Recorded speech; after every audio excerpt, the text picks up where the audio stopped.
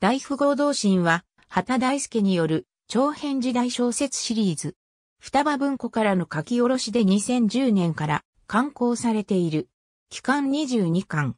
江戸一番の札差し、三国屋の抜損で同心株を買い、定町回り同心となった宇野吉が、宝刀三昧で得た知識と財力を持って、難事件を次々に解決していく様を描く。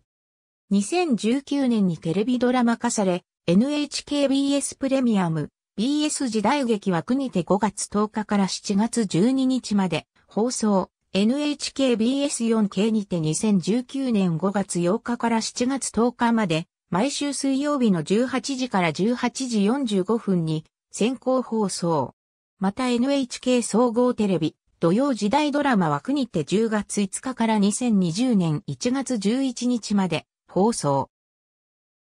八巻宇野吉宝刀記大富豪同心、大富豪同心に天狗構造大富豪同心3一万両の長屋大富豪同心4五前試合、大富豪同心5有利の旋風大富豪同心6お化け、大名大富豪同心7水難女難、大富豪同心8四角3人大富豪同心9、宇野吉子守歌大富豪同心10仇討ち免状、大富豪同心11湯船盗人大富豪同心12、公衆隠密旅、大富豪同心13春の見学大富豪同心14、千里岩原力比べ、大富豪同心15隠密流れ旅大富豪同心16、天下覆滅大富豪同心17御用金着服、大富豪同心18の吉江戸に帰る、大富豪同心19走れ銀8大富豪同心、20解消地里を行く、大富豪同心21お犬大明神、大富豪同心22闇の奉行大富豪同心23影武者、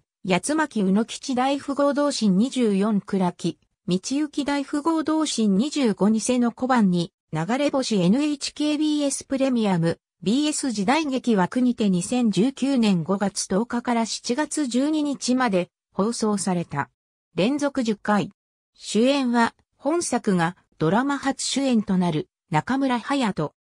NHKBS4K にて2019年5月8日から7月10日まで毎週水曜日の18時から18時45分に先行放送された。NHK 総合、土曜時代ドラマ枠にて2019年10月5日から2020年1月11日まで地上波放送された。第2シリーズ、大富豪同心2が NHKBS プレミアム、BS 時代劇枠にて2021年5月28日から放送開始。